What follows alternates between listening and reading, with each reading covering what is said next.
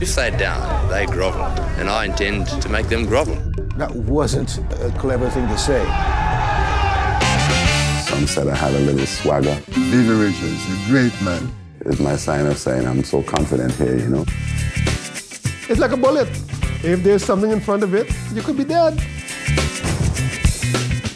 If you can't take the heat, get out. We were now fighters. We didn't know when we were beat. Oh, he's hit him. That's, hurt. hurt him. That's hurt. That may have broken his jaw.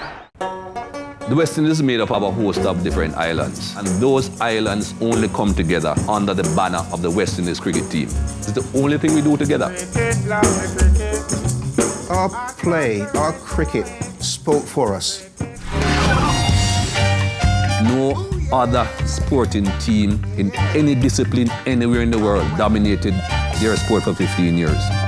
You felt seriously embodied with the folks who were suffering in South Africa. And suddenly we have this extraordinary emergence of culture in the Caribbean.